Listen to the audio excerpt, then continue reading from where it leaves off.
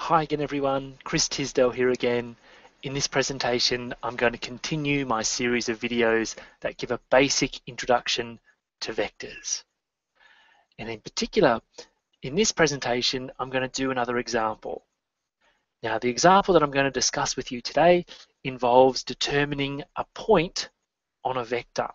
So let me share my screen with you and uh, we can look at this example. Okay, so we are given two points, A and B, in three-dimensional space.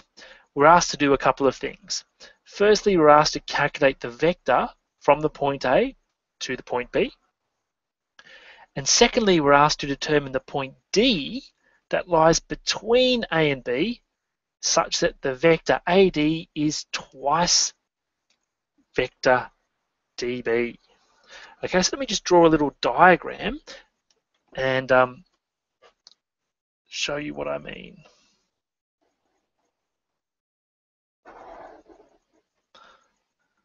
Okay, so we've got uh, point A, we've got some other point B, and we want to um, determine a point, say, D, such that the ratio of this line segment to this line segment is 2 to 1. Okay? In, in other words, the vector from A to D is twice as long as the vector from D to B. Okay? So let's um, do the first part, which is the easy part, calculate the vector from A to B.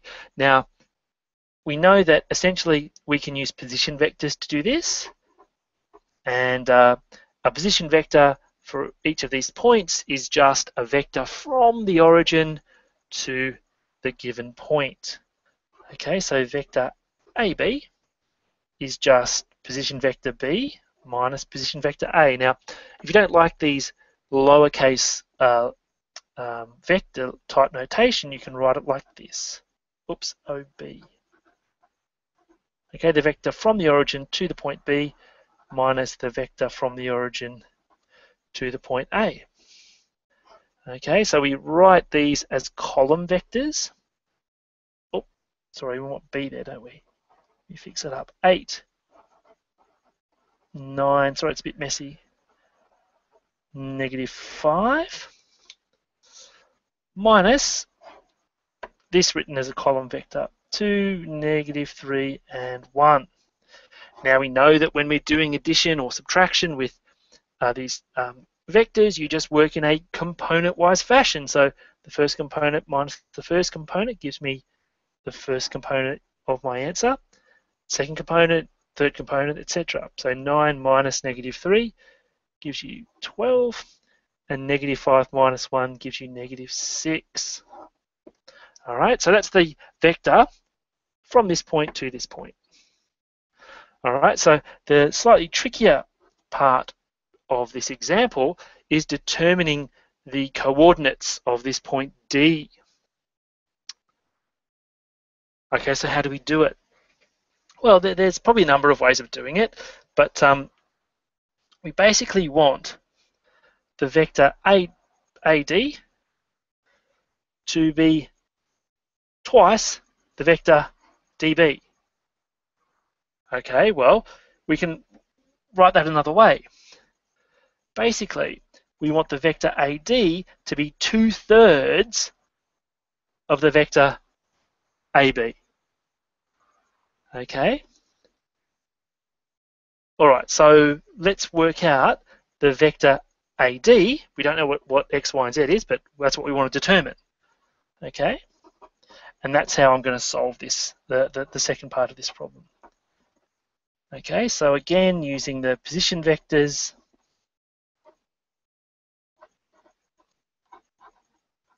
you'll have something like this.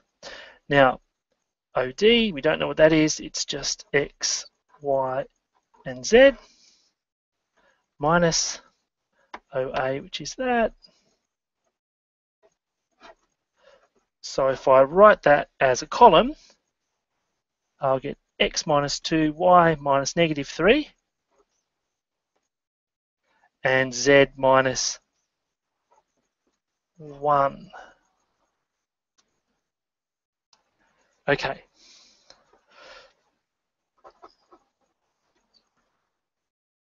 Now, AD is just two-thirds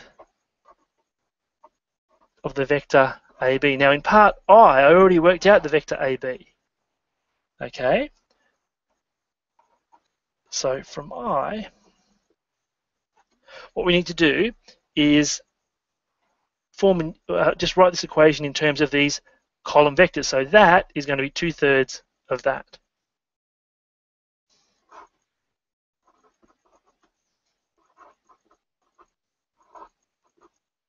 I know my Zs look a little bit like threes, but I apologize for that. That's a Z, that's a three. That's a Z, that's a three. Okay.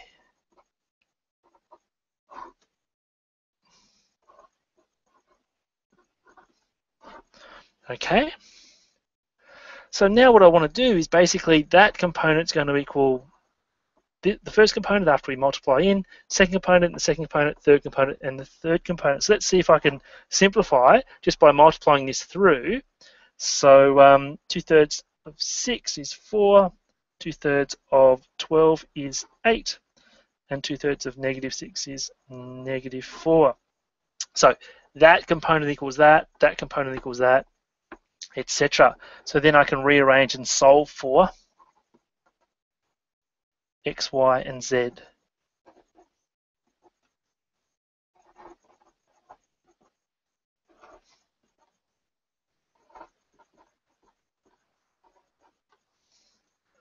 Okay, thus, what am I going to have?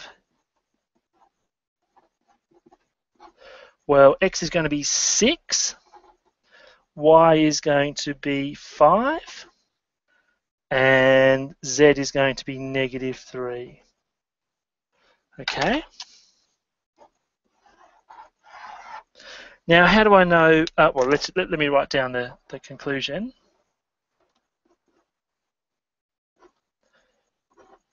D is just 6, 5, negative 3.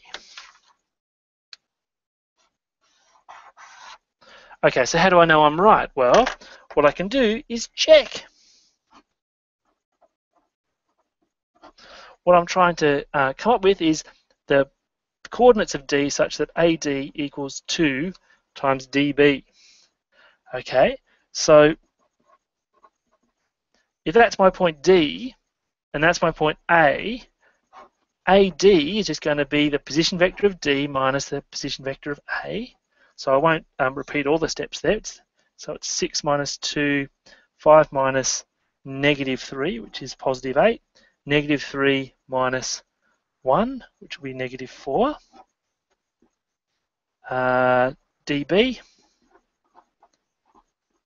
is going to be the position vector of D minus the position vector of B. So we're going to get negative, uh, sorry, uh, we're going to get that minus that, which is 2, 9 minus 5, which is 4, and negative 5 minus negative 3, which is negative 2. Okay, so you can see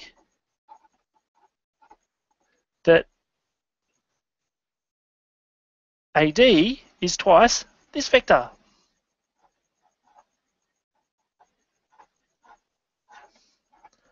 So we're happy. Okay. So that was a pretty straightforward example. The first part was very easy. The second part took a little bit more uh, muscle.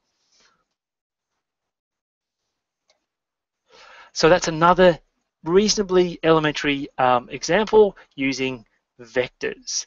And um, in other presentations, I'll be continuing my uh, series of introductory vector, uh, introductory uh, classes concerning vectors.